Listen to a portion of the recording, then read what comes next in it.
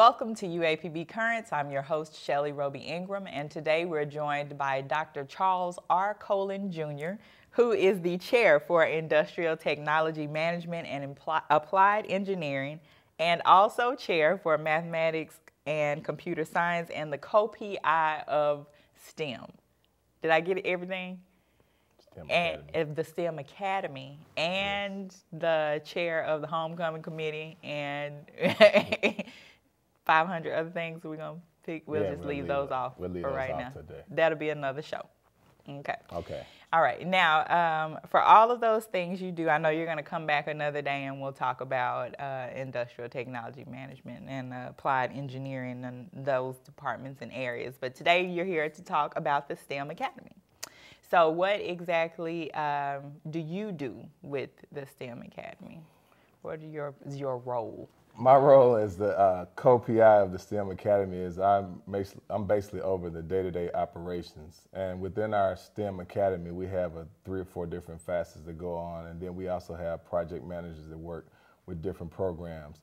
But the three programs we have in the STEM Academy include the HBCU Up program. We also have our ARC LSAMP program, and we also have what we call our STEM graduate program. Now, the uh, HBCU Up and the LSAMP programs are also are funded by NSF, which is the Na- National Science Foundation. Okay. And then the uh, graduate program is sponsored by the Department of Education. And what we have are project managers for the LSAMP program, which is uh, Dr. Nissa Buckner, and then we have a project manager for the uh, STEM grant, our graduate program, which is uh, Dr. Jesse Walker. And I work with the um, HBCU Up program. And over all those, uh, our principal investigator is Dr. Mary Benjamin. Okay. All right. Now, um, before we get into all of that and all the programs that you all do, what exactly, for those who don't know, what exactly is STEM and what is the STEM Academy here at the University of Arkansas at Pine Bluff? Okay. What STEM actually is, it's an acronym that stands for Science, Technology, Engineering, and Mathematics. And as you look in the newspapers or you look on the news, you see there is a need or a shortage of people majoring in those STEM areas. Science, technology, engineering, engineering and math is really what drives the United States on, you know, when you're looking at protecting the United States from foreign agents or protecting the United States here. Uh, you need technology to help with diseases. You need science to help with solving a lot of problems that you have here. And so, what the National Science Foundation's goal is to increase the number of minorities in those areas. So, what our program does here is we bring in students that choose to major in uh, biology, chemistry, physics, math, computer science, industrial technology, management, and applied engineering. Also, we use uh, animal science, plant science, pre-engineering majors. All those majors are part of our program, and what we do is we have a different set of programs that's designed to get, help those students matriculate through and graduate with some, in one of those degree areas. Okay. Now, I know one of the things that's important to um, the STEM Academy and your students, and one of the things that you press is uh, internships and, and co ops and involvements to get the students experience. So, uh, tell us a little bit about that as it pertains to the STEM Academy. What we do is uh, that first, we have what we call our pre first year academy, and that's when the students first graduate from high school. They come to campus. Uh, we provide them with a uh, $1,800 stipend during the summer. We cover their room and board. And what we do is we work on their math skills, writing skills. They do biology, they do chemistry, they do computer uh, computer science. They also deal a lot with professional development. We bring in uh, different professionals in the sciences, in the STEM areas, and they come and speak to them. And we also try to develop them and get them a head start on, on going to college. So that's what we do that first summer. Then during the semester, during the fall and spring semesters, we give them an $800 stipend. They work on campus. They have research projects that they work around on campus, which is kind of helping them get ready for those interns. And then we meet every Thursday at 11 o'clock. And that's when our we come together and we have over 150 students uh, in the STEM Scholars Program now. And we meet with those students and we talk to them. And what we do is we have, we have speakers come in. Those speakers come in, they talk about their research projects what's going on, but they also bring internship opportunities with them. Okay. And then we also receive a lot of internship opportunities through email and also from our contacts. And so on that second summer, uh, that second summer after their freshman year, we expect them to go out and start doing internships. And so that process begins during the fall semester and it continues through the spring. And we try to get as many people out doing internships those summers. And then sometimes we have students that actually do what we call a co-op and they actually go and work during the semester. They Right. may go work with the industry during a semester and they get a, a maybe six months of experience. So we push those. We uh, we make them make sure they go out and uh, apply. Uh, we work on their application. We work on their statement of goals. We work on their uh, you know writing reference letters or talk, getting people to write reference letters for them, making the request. So all that's part of our STEM Academy. That's what we do during the semesters. Okay. All right. Now, with all of those things that the students are doing, um, I guess what I want to ask is how how does someone become a STEM student? All right. First of all, you need to major in a STEM area. That's, Okay. a, that's one of the first criteria. Uh, the second one, if you're still in high school, you're a graduating senior, you're welcome to come out to uh, the Walker Research Center. We have applications available. The requirements are a 19 on the ACT and also a 2.9 grade point average. Uh, and what we try to do is we try to bring those students in. Those are the ones that would apply for our STEM uh, summer academy, the pre-first year academy.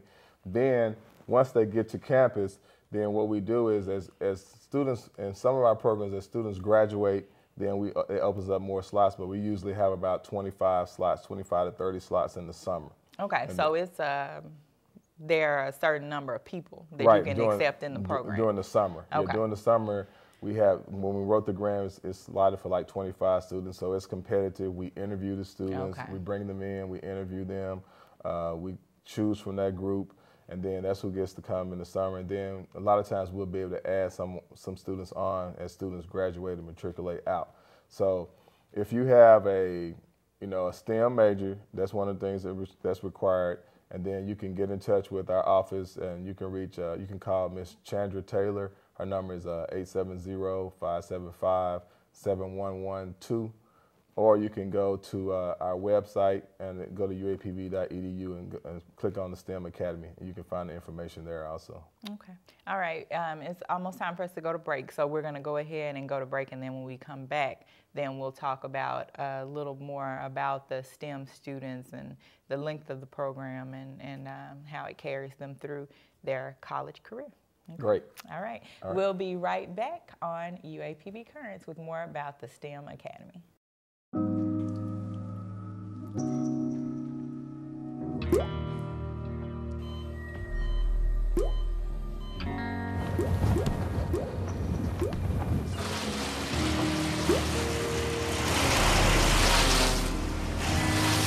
There are a million places you'd never consider texting. So why would you do it while driving? Leave risky driving to the professionals. Stop the texts, and together we can stop the wrecks. I'm big. I'm big. I'm big. I've done big things. Some even say I'm bigger than life. But you know what? There's nothing bigger than life. Not when someone you love is fighting to live. You want to do something big? You want to do something big? Sign up to donate marrow and save a life. Take the first step at bethematch.org. See how big you can be. You could be the one to save a life.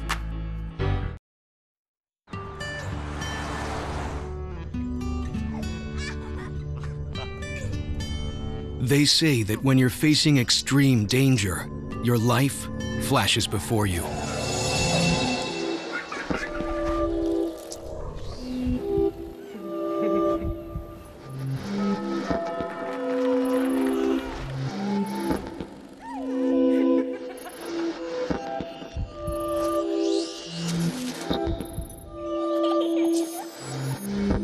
If you think that's sad, consider facing it before you even have enough life to flash before your eyes.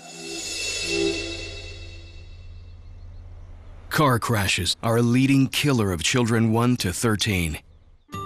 Deaths and injuries can be prevented by using the right car seat. Visit safercar.gov slash the right seat to know what is appropriate for each age and size. Welcome back to UAPB Currents, where again we're joined by Dr. Charles R. Colen Jr., and I'm going to leave out the rest of your title. That would be fine. They can just read it, and we'll just go from there because it's too many titles. um, and I was supposed to give the disclaimer that this is my neighbor and, and my best friend's husband. That's those are your other titles.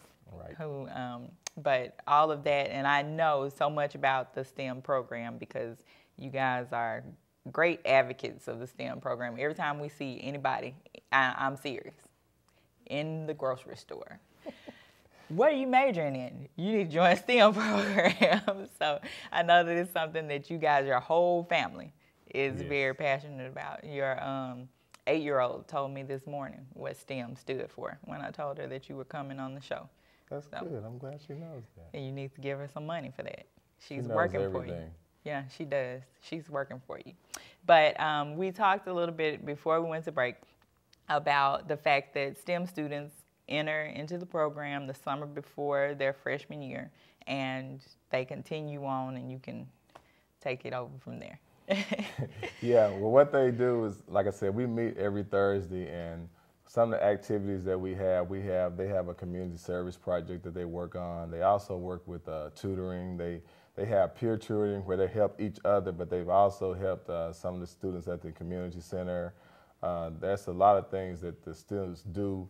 Uh, they work, they help each other with working with interviewing because a lot of times when you go out to get internships or whatever, you have to know how to interview to get that position. So they work with them with that, and then they help, like I said, with their schoolwork. So those are the main, some of the main activities that they do, and that matriculates through the entire time. So we, we're this program is not a bridge program where we just want them to go from high school to college, but this program is definitely about graduation. It's about graduation, and that's what uh, the NSF wants us to do: is graduate more of these students in the STEM areas. okay. All right. And uh, do you want to talk a little bit about some of your retention numbers and, and those things? Yeah, this retention numbers we're really proud of. Uh, we started out when we first got the grant, we were around, uh, I guess, around 65%. Uh, well, we've gotten that number up to 87%. Good. Our last group, uh, and that's mainly looking at our retention rates from you know freshman to sophomore and how many we maintain. And that number is, like I said, the last number we got for this particular year is around 87%, and we're real, real, real proud of that because it's showing that some of these are some of the things that you can do to maintain our students. The uh, average ACT score on this last group was around 21. In the past, it's been around 17, 18. So we're working with getting that number up. Uh, also, what we did, we've done a few presentations for our former president Sugg, and he, he wanted to. He was really impressed by the program and our retention rate, and he wanted to really try to see if we could spread it across the whole campus, entire campus. So that's one of the things I guess future that we're looking forward to is seeing if we can get more students because I think retention is a real, real important issue that we have here on the campus. All right. Okay. Now uh, we'll take the opportunity to talk a little bit about some of the programs that fall under the STEM Academy, some of the things that you guys and students participate, the different programs that students have opportunity to participate in. Okay. Well, I can start off with uh, all these programs I'm going to talk to you about now. It's over 11 million dollars. That's a million, That's how much money we, we've generated from grants for these programs. Now, the first one I called out was the HBCU Up program, Okay. And it's basically we've had this program since uh, 2004, and we Now we- tell us what HBCU up is stands for. HBC. I'm sorry, HBCU Up stands for Historically Black Colleges and Universities Undergraduate Program. Okay. So what that what that that's the first one we got. That was the first grant that we got back in 2004. You get these grants for probably around five years, and what you do is we did a good job and we rewrote and got another uh, grant for the same amount again.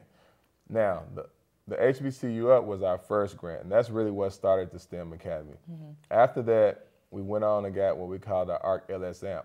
And the ARC LS AMP program, the acronym for that is Arkansas Lew- Arkansas Lewis Stokes Alliance for Minority Participation. Okay. And it's named after Lewis Stokes, who was one of the congressmen. And what we did with that one was the HBCU Up was strictly for UAPB students. The ARC LS AMP one, we're the lead institution, and we work with uh, University of Arkansas at Fayetteville, University of Arkansas at Little Rock, University of Arkansas at Monticello, Arkansas State, Philander Smith College, uh, Pulaski Tech, and CART College. Those are the uh, other seven colleges that make up this alliance, and it's eight colleges that make up this alliance. And all those students come to UAPB in the summer, and they do a first year institute, a first year summer institute, and then they spread back out and they go to their respective colleges during the fall, and then in the spring, all those students come together and they have a spring research conference every year. Okay. And so that was the other grant that we did. And then after that one, along parallel, kind of parallel with that one, we got the graduate graduate uh, education grant. And what that was, that one was about was if we're going to produce all these STEM majors and STEM graduates, we said we, education, the Department of Education said we need STEM teachers. Mm-hmm. So what we do now is we work with the STEM uh, with the STEM teachers for the in education with their master's program, and so this grant helps them with the uh, getting degrees in uh, the in STEM areas for high school, and so we we're working on that now. I can't tell you the exact number that we have out. we have, I think, about four or five that are going to be graduating this semester. We had our math graduate, our first math graduate, I think, last last uh, graduation. Mm-hmm. So we're actually putting STEM teachers out along with all these STEM uh, undergraduate students also. So we, so those are the three programs that we have that fit under the STEM Academy right now. And we also get funding from the Arkansas Science Authority, Science Arkansas Science Authority. It's called ASTA, mm-hmm. and uh, it's lo- I'm sorry, it's Arkansas Science Tech and Technology Authority, okay. and it's called ASTA. It's with the state of Arkansas, and so they help with the uh, LSAMP grant also. Okay. And so what it is brought about a large synergy on campus with STEM. So I think everyone knows kind of what STEM, what the, they've heard of the STEM Academy. Right. They might not know everything that goes on with it, but that's kind of why I'm here today. That's get right. that word out. That is true. Absolutely. We're here to find out more about the STEM Academy and the STEM students. And um, we're going to get ready to go to break. And when we come back from break, we're going to talk um, a little more about some of the um, activities that the STEM students have an opportunity to participate in and some of the other things that the STEM Academy sponsors, like the science fairs and things of that nature, and uh, about the new facility that we're building here yeah. on campus that we're excited about. about. Yeah, yeah, we can talk about that. So uh, we'll be right back after this break on UAPB Currents. Hi, my name is Danny Andre Burrell II, a senior here majoring in industrial technology, management, and applied engineering. I thought that I would be looking for a job at this point, but thanks to my mentor, Dr. Charles Colen at Career Services, I was able to obtain a position as an industrial engineer upon graduation. Danny worked hard in class from the beginning, obtaining three internships while on campus. UAPB can help prepare students like Danny for those same opportunities. UAPB prepared me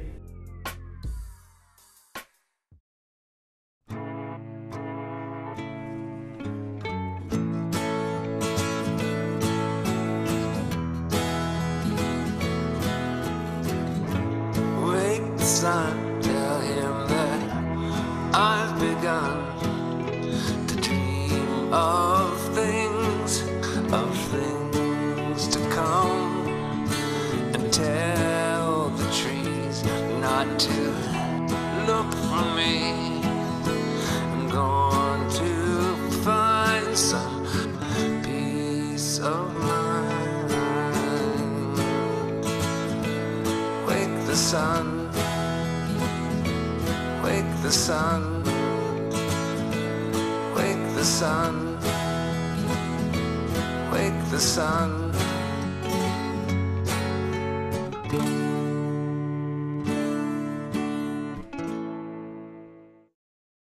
Welcome back to UAPB Currents, and again, we're joined by Dr. Charles R. Colen Jr., uh, and we're here talking about the STEM Academy. And you all have to excuse me because Dr. Colen and, and our director, Randy, are just really going into conversation about the STEM Academy and all the things they do during the break.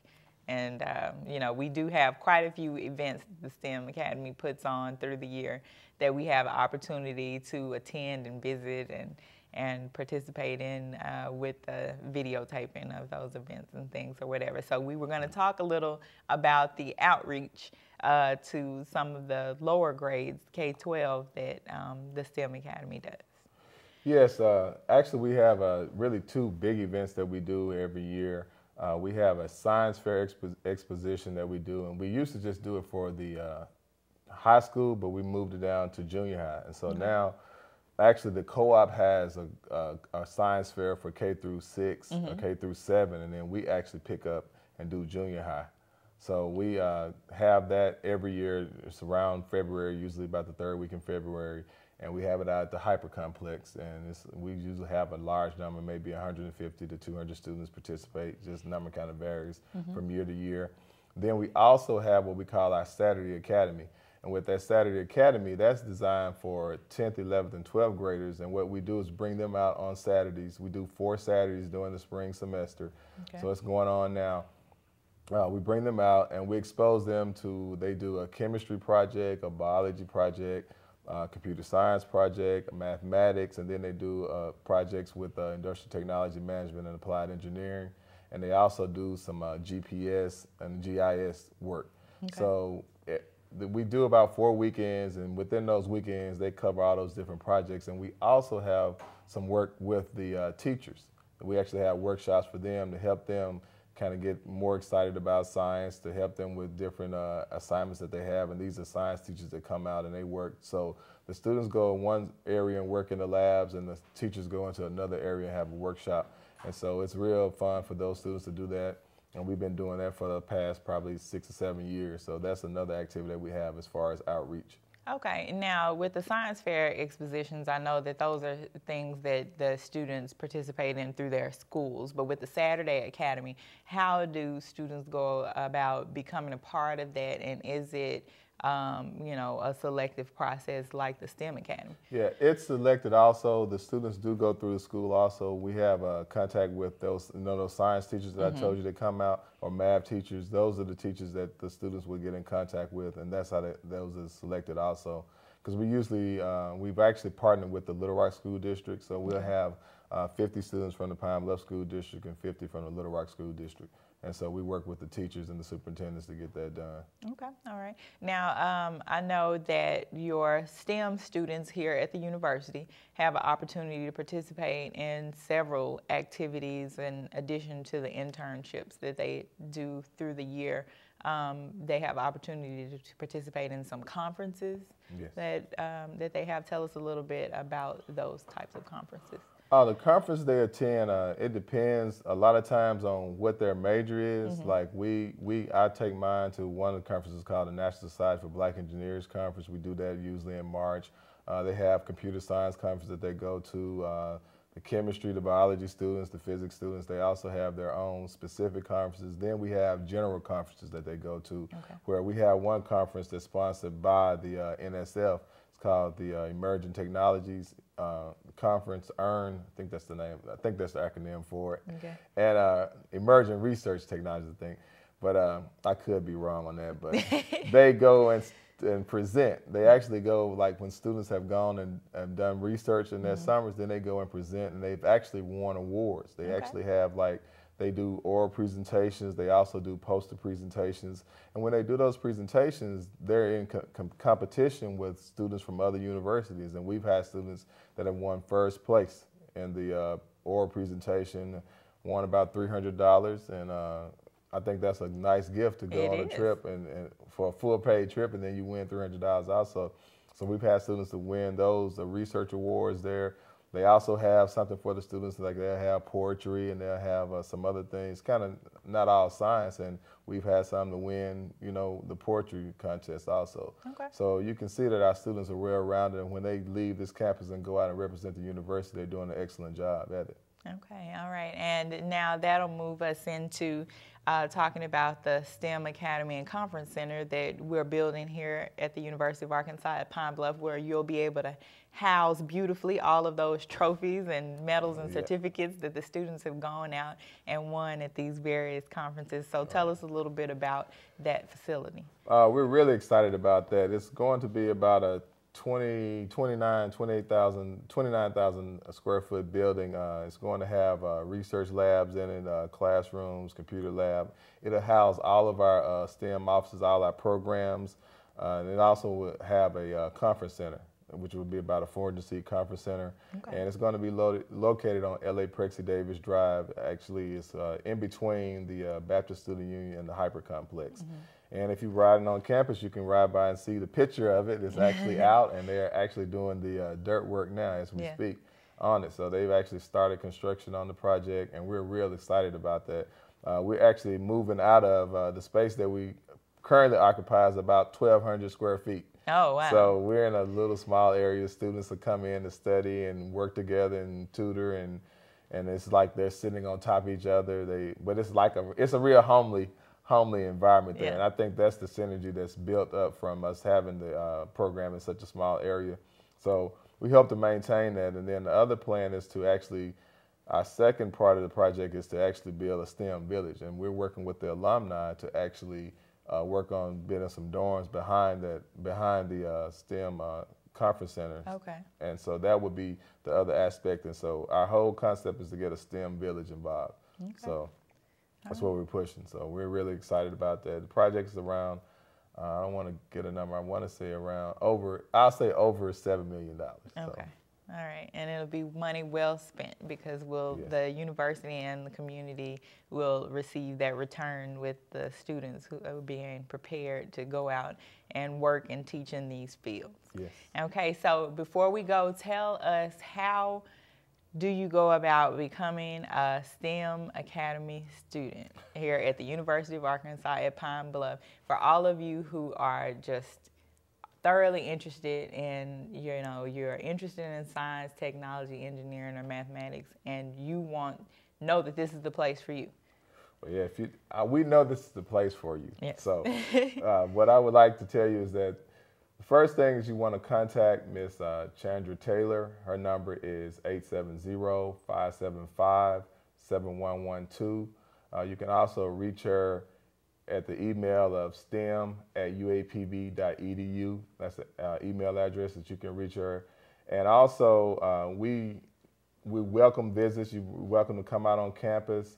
And I guess the other information would be if you're a graduating senior and you're interested in the STEM area, this would be a great opportunity for you to start. We usually start our summer program in June, so it'll probably be about the second week of June when we start that program. And anything else, I think Chandra will be able to answer those questions for you. okay all right well thank you so much for coming and telling us all about the stem program and the stem academy and we'll have you back to talk about all those other titles that are beneath your name No problem. okay and thank you and we will see you next time on uapb current Thank you.